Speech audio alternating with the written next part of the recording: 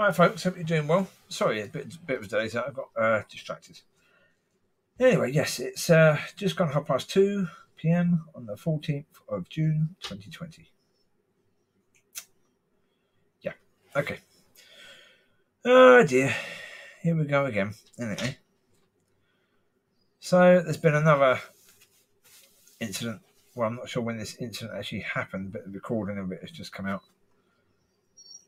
Rayshard Brooks and his shooting.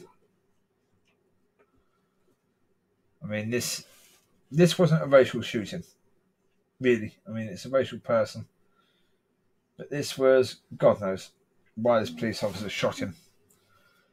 Um, in case you're not aware of the situation, Rayshard, I think that's how you pronounce his name, um, was sleeping in his car in a Wendy's car park and the police were called because somebody was sleeping in their car in Wendy's car park. Um, they came, he got out the car, they spoke for quite a while. Everything seemed civil. It was obvious he was a bit drunk. Clearly, he was drunk. He himself sort of admitted he was drunk. He, towards the end, said he would take a breathalyzer and found that. And right up until the point where the handcuffs were going to go on, Everything was calm, everything was respectful, everything was exactly how you want it to be. But as soon as the handcuffs started going on, he, Rayshard Brooks, decided he was going to resist arrest. Two police officers with him. But the thing of it is, that's what alcohol can do. It can make you think that you are suddenly Superman and that you are able to get out of the situation without any consequences. Now, the police officers should have always been aware, ever since their first day of training, that when dealing with someone who's drunk, that person is unpredictable because they're bloody drunk. That's the first thing. Do not expect, even if that person is calm, through most of it, do not expect that person to necessarily remain calm because they are drunk, they are therefore unpredictable. Once things start to get physical in any way, shape, or form, which putting on the handcuffs is physical, suddenly things could change. That is the reality of the situation. Anyone who is a police officer should be aware of that, as that should be amongst their basic training. These officers found that really. Which was rather stupid. But there you go. So they decided to try and taser this man, which again didn't need to do. Remember, this man is drunk. Because he's drunk, it means he's not quite able as he would be if he was sober. Now, he's a big fella. He's slightly bigger than the police officer who was speaking to him. Not much. Looks slightly more muscular, slightly taller, but not much. Now, because he's drunk, that sort of reduces his, his size a bit, as in his ability. One second. Let's pause this and sort this situation out with the dogs. Right, there you go, back. Sorry about that. Amber was um, whining because Money had a ball. So I've had to set the ball away so I can just finish this and then they can play again afterwards. But this is important. Um, what happened here? Well, Jesus Christ. Um, the normal stupidity. I mean, you've got to say your initial reaction is, "What the bloody hell is this man doing?" Yeah, you know, even in a drunk state, you know that there are that there's all this angst at the moment between brown-skinned people and the police. That the police have a habit sometimes of you know choosing the first opportunity or the first excuse to shoot and kill a brown skinned person, right? You are brown skinned, so therefore, first of all, think about it from that point of view. Secondly, think about it from the point of view that you are resisting arrest. Right? The bloody hell are you doing? You spent all that time talking to that officer. You know he's a fairly decent officer. He's not being abusive towards you. He's not trying to fight you. He's not trying to kill you for most of the video. I will link the video to this one. It's uh, nearly seven minutes. You don't see the final bit, and you don't even see. Suddenly, his camera goes weird right at the important bloody point again. Which again, come on, these body cams are bloody useless, aren't they? Really, when they're needed, they're absolutely useless. They just turn themselves off or freeze. Now, is that intentional? To protect the police? Because apparently, um, this police officer was investigated and found not guilty because he claimed, and this again is stupidity. I mean, how pathetically weak are these police officers, right? He claimed, well, I just, well, sorry, I'm stepping ahead. I will step back one second. Ugh. I've got to try and get emotion. As soon as you get emotional, I, I did a video yesterday talking about the fact that um, when you get emotional, when you let emotion get into these things, you rant and you go off course. Well, that was just a perfect example of that. There you go. Example of that went completely off course, got emotional, you know, about the whole situation, and you know, suddenly wasn't in control anymore. Anyway, back to what happened. Yes, so he started resisting arrest. Then the police decided to taser him. Taser didn't work initially, and then the man got hold of the taser. For some reason, he. What in your mind would decide make you decide to go for a taser? Police officer's taser to get one of their weapons because it is a weapon. It's one of their weapons. Jesus. Um, we'll come back around in a second to what I was talking about. In a second, we'll, we'll get to that, but we'll catch up. Then, yeah, so they struggled for the taser. The man then started to run away. Police officers chasing him. Now, there's not too sure what the situation is because there's two videos. I will link both because the initial seven minute video doesn't show what happened after the struggle. The second one does, but it doesn't show the struggle. It doesn't show the the last bit. So I'll link the two because together they show up until the point of shooting. So, but it was initially reported that the man was running away with the taser, and the police officer uh, then decided to shoot him. The police officer citing the reason why is because the man had a taser, and that that was a lethal weapon, and they were afraid for their safety because the man had a lethal weapon. This exact lethal weapon that you were trying to use on him for resisting arrest He's resisting arrest and you decide to use a taser on him. This taser that you're now claiming is a lethal weapon that could kill. Why were you using this on him then? That's how the police officer got away with killing this man. This man was running away, but as second video shows, he was running away. The um, one of the officers I think, tried to taser him with another taser.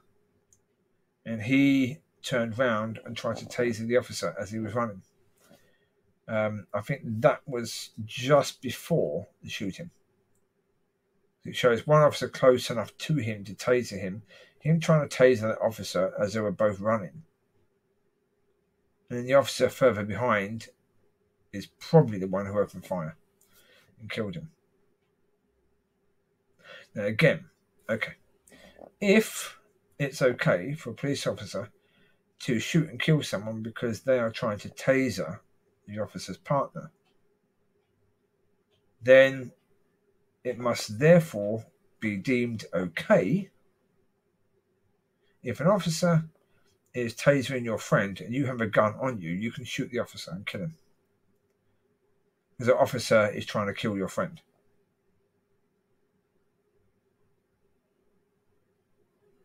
That must therefore be reasonable.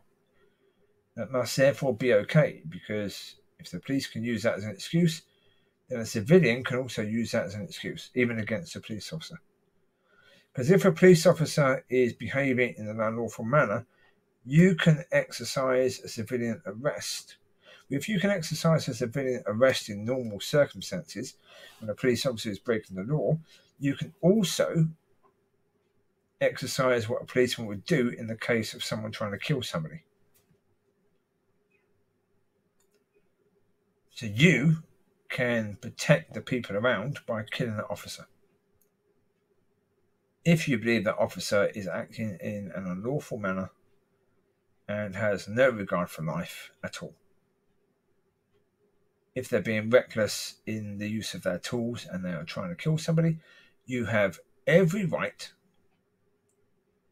to protect yourself and to protect the people around you, even that person that the police officer is trying to kill. And if that means the only way you can do that is to shoot the police officer, then you have every right to do so, according to the officer who killed this man.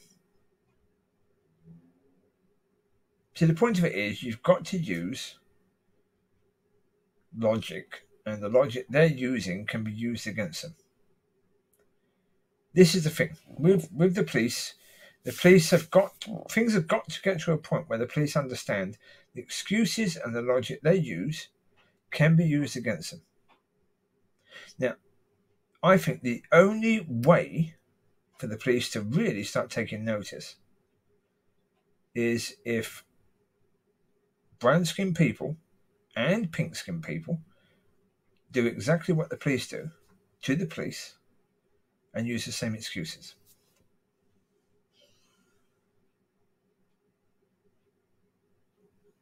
And then once they're using the same excuses, they can say, oh, but yeah, the police officer said that person had a taser and that was a lethal weapon.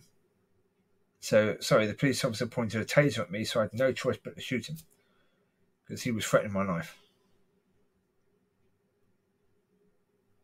According to that police officer who killed Rayshard Brooks, you know, taser was a lethal weapon. Because it's a lethal weapon, then if someone's threatening me with a taser, don't care who they are, for no reason, then what they're doing is unlawful. They're breaking the law, and if they're breaking the law and threatening my life by doing so, then I have a right to defend myself.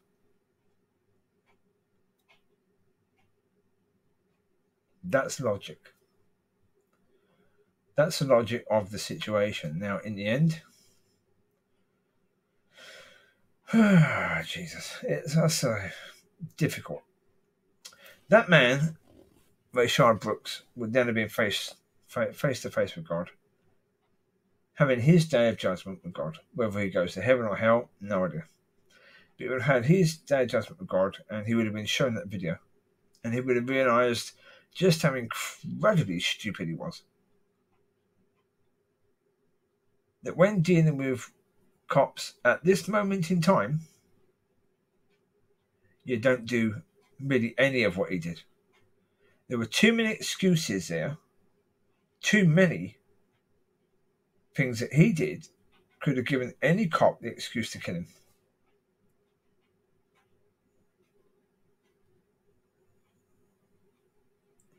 I mean, I think it's perfectly reasonable that if you are a brown skinned person, male, female, if any cop comes over to you, whether you're in your car, whether you are out on the street, whether they ask you to come out in your car and speak to them, get on the floor straight away with your hands behind your back.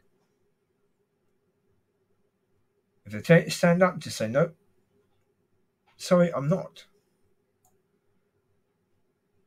Just put the cuffs on me, okay? Put the cuffs on me. Put me down somewhere where you know that I'm not a threat to you. Because my life depends on this. Or it could do. I'm not willing to die for this. I'm not willing to die so that you feel that I'm treating you as a good cop.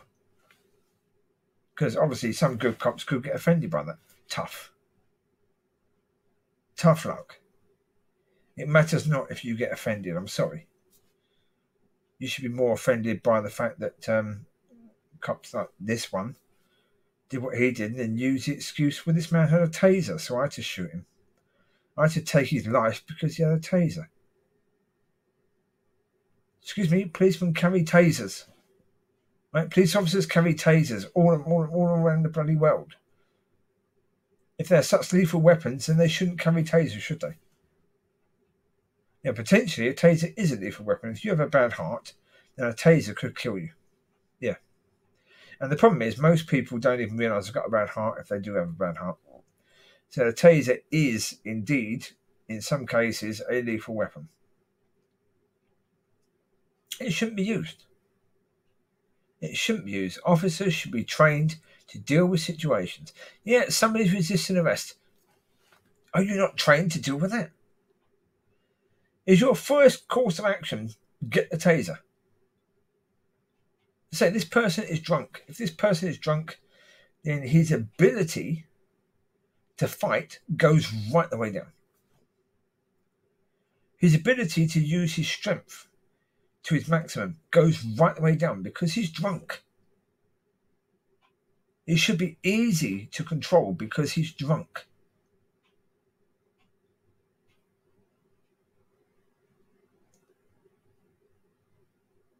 The problem is again, the officer. First thing you do, you're dealing with someone who's drunk. You don't pull their arm behind their back. You say, Would you mind placing your arm, behind your back so I can just get the cuff on? Thank you. And the other one, please. There you go. Cheers. There you go. Done. Once you start pulling them arms, when they're sober, their understanding is it's not hurting. Yeah, they're putting my arms behind my back. It's not hurting though. So I leave it. If it hurts, then they might start to resist. Somebody who's drunk, different matter completely. Yeah, they're trying to force me to do something I don't really want to do. So I'm going to resist. Because they're drunk, they have that courage, that Dutch courage, as it's called, which they wouldn't normally have when they were sober. So, police training, come on, kick in, understand what you're dealing with here. It's crazy. Absolutely insane. I mean, how on earth these things keep on being allowed to happen, I don't know. It's ridiculous. But this one, no. I mean, realistically speaking, had this happened to a white guy, if it had been a pinky skin coloured guy resisting arrest, grabbing a taser and trying to taser a police officer as he runs away and the police officer is chasing him, quite likely the other cop would have shot him. So I don't think this is a racial thing, racial shooting, but it is still a murder of somebody. But I don't think it's for racial reasons, and that this copper should be held accountable because what he did was unnecessary. You do not need to shoot the person to kill them. First of all, they're running away from you, right? Even if they've got a taser, leave him. You've got his face on camera. You've got the license plate of his car. Leave him. Let him sober up. Let him run off. Even if he's got a taser, let him run off. Get it when you go and get him later. Okay?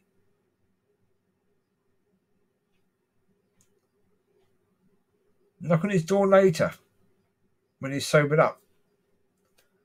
You know, do everything calmly.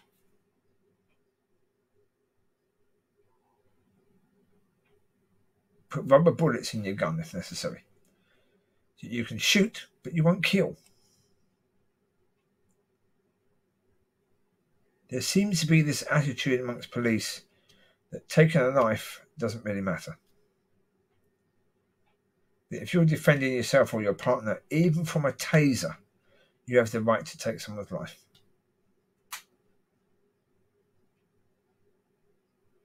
I mean, that is just wrong. It's all levels of wrong. I mean, in the video I was watching earlier about this, um, an Australian person left a comment because he had trained um, I think, with the Australian Army and the British Army. And he'd been in Ireland during the troubles over there in the, in the 80s. And as he himself said, if people were chucking rocks at them, doing whatever they were doing, if they were attacking them, they weren't allowed to fire at all if people were shooting at them, if that person then throws his gun down and runs away, they have to run after him if they can catch him. Or they have to let them go. They can't shoot them in the back. They weren't allowed to do that. And that was the army. This is a civilian force. Yet they seem to be allowed to do that. To shoot someone in the back. Crazy. And justify it because the person had a taser or because the person, even because the person was trying to taser your partner. Come on. That's not reasonable in any way, shape, or form.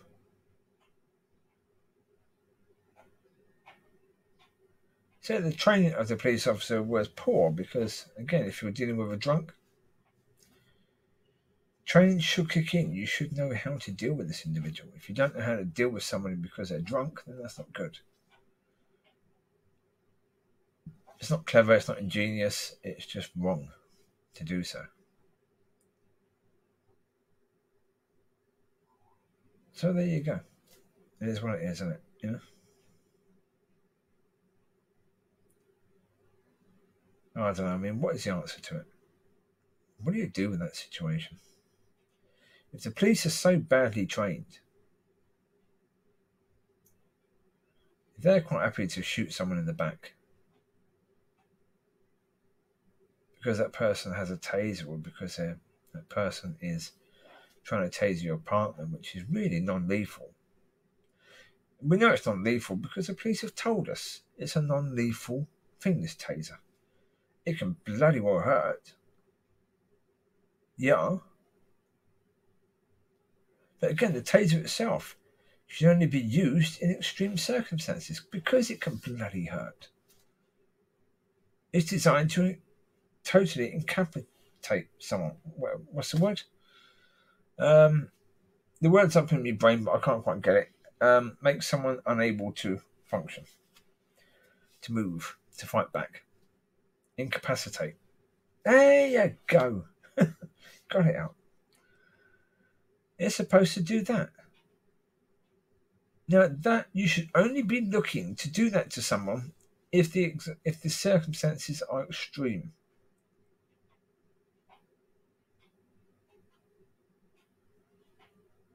know, so if you're police someone someone's attacking you with a baseball bat and they don't seem to stop, want to stop, then maybe use that. Of course, a baseball bat around the head is going to be incredibly dangerous, possibly lethal. So therefore, using a sort of extreme but not lethal force may then come into practice. Somebody resisting arrest, drunk? No, sorry. No. You're going to these extreme measures far too early.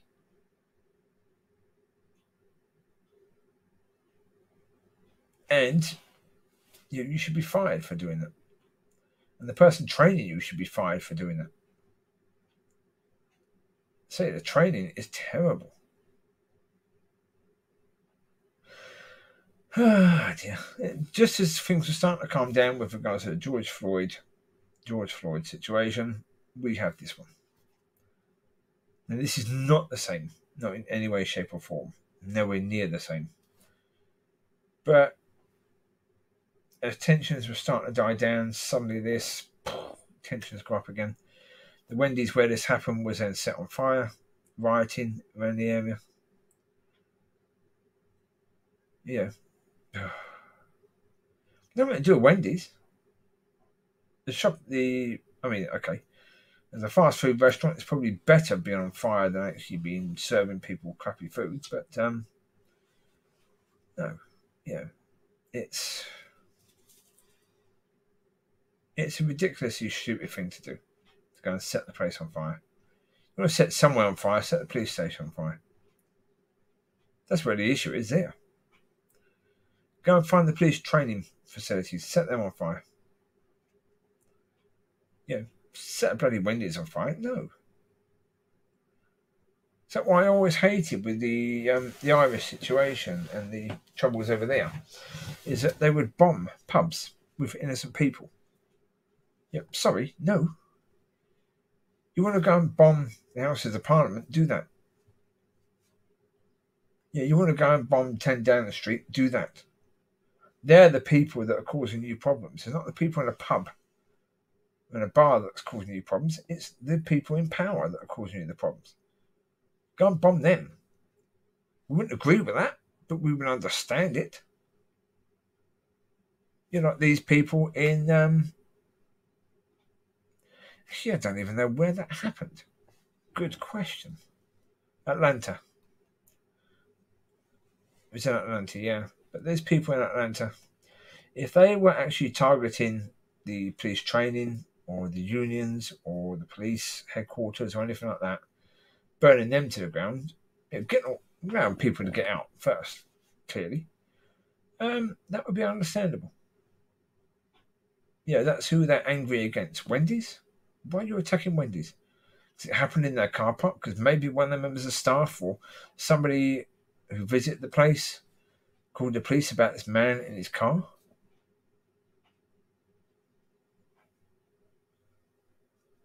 That's not okay. You know, damaging the business is not okay. You know, taking your anger out on them is not okay. It's not reasonable in any way, shape, or form.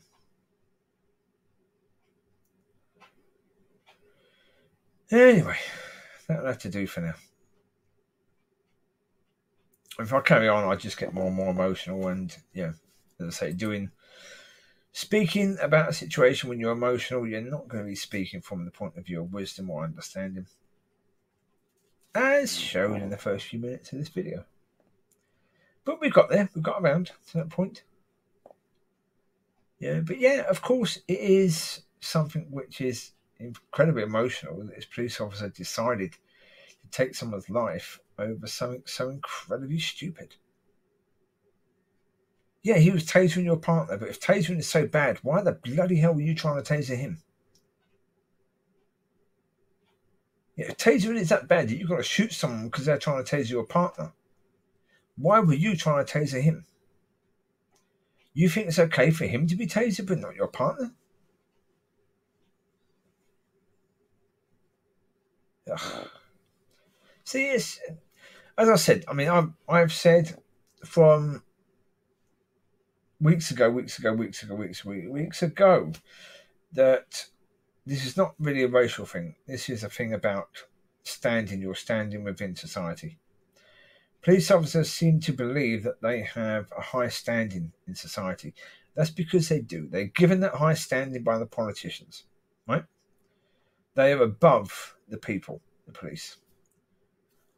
And that's what you saw there.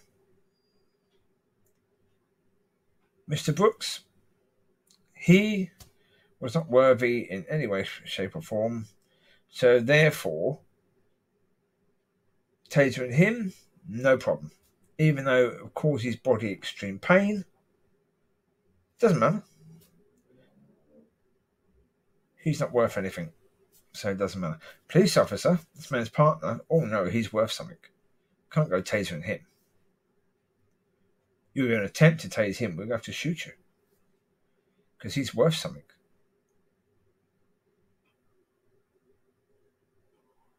Yeah, that's the issue.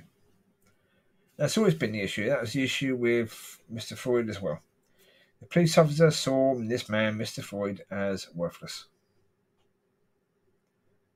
Not because of his colour. Nothing to do with his colour at all.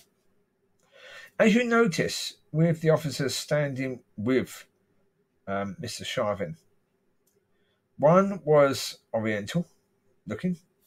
Um, obviously, some of his relatives had come from that area. Um, so, a minority. One was half caste and had parents or relatives that were brown. So, Mr. Chauvin had worked with people that were brown skinned probably had friends with people that are brown skinned. It had nothing to do with skin colour. That despicable treatment of Mr. Floyd. That was down to you're not worth anything. You're not even worth the same as an animal, not even the same as a pig. Because at least a pig gives me bacon. What do you give? What do you do? What do you provide for society? Nothing. You're not worth anything. I can put my knee on your neck because you don't matter. And it doesn't matter that I do this because people are videoing, but it doesn't matter. That's what the officer was thinking.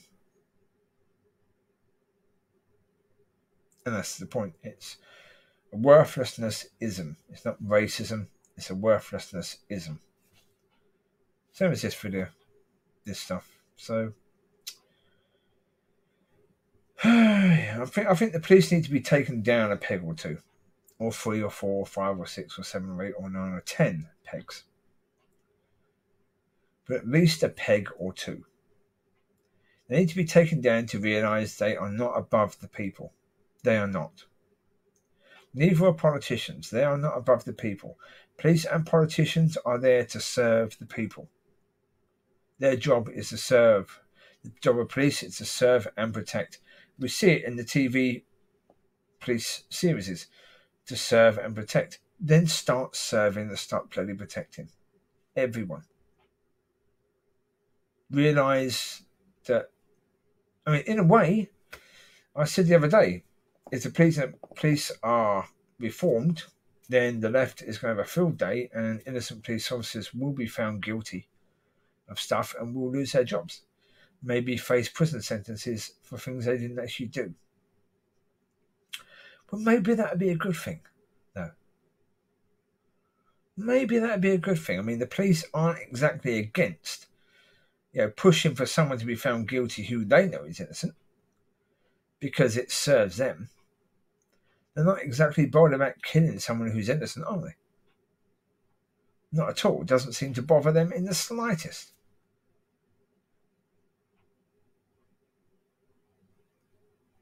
There's not an awful lot of outrage, is it? It's only when yeah, these these things get onto the TV that suddenly the police from different states are showing outrage at what happened. When it happens in their state, they're showing no outrage, are they? No. They act as if everything's okay. Oh, it's just the police officer doing wrong. It's just one person, that's all. Anyway, I said anyway that I do earlier. Well, that I do. I will speak to you soon. God bless. Bye bye. Don't have nightmares. Thankfully, these things are still few and far between, even though as soon as one happens, they're right on top of the news. But as I said, that's a different issue. That's news media. And I would suggest that people don't play their game because they are playing the game, the news media. You don't want to play that. You take care. God bless. Bye bye.